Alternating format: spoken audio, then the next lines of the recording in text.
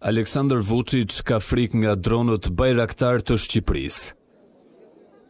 Një gjë të tillë e konfirmoi vetë presidenti serb gjatë një vizite në një kazermë ushtarake në Beograd, ku takoi krerët e forcave të armatosura.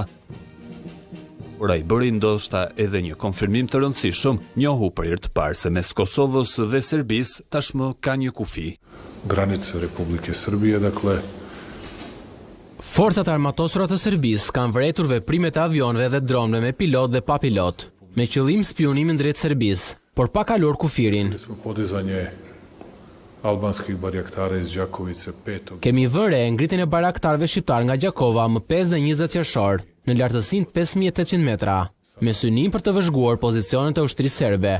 Gjithashtu, avionët suedezo-gjermanë bëjnë të ashtuquajturin imazhe të detajuara, jo nga territori nën kontrollin e forcave të armatosura serbe, por nga të tjerë që nuk janë nën kontrollin efektiv të saj.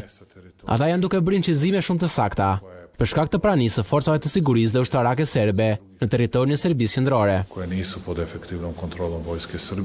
Presidenti serb bëri të ditur se po shtohen pajisjet, armatimet dhe municionet në ushtrinë e vendit të tij, Ai la të kuptohet se këtë fuqizim të arsenalit të ushtrisë serbe po e bën për t'iu kundërvënë atyre që i quajti forca të mëdha që janë mbledhur në rajon për arsye të ndryshme, nga forcat e rëndësishme të vendeve fqinje deri te numri i madh i anëtarëve të NATO-s në Kosovë.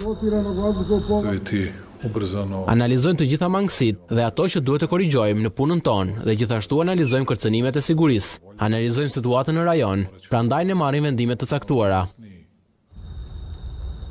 Presidenti serb u shfaq gati në një fazë paranoje, duke përmendur armiq me armë, teksa kërkoi në kundërpërgjigje që ushtria e tij të shtojë radhët e personave të aftë për të qëlluar me pushkë. Vuçiç njoftoi se do të ketë rritje pagash për forcat e armatosura, në mënyrë që të jenë në gjendje të pengojnë atë që e konsideroi armikun e Serbisë, por pa e treguar me gisht atë.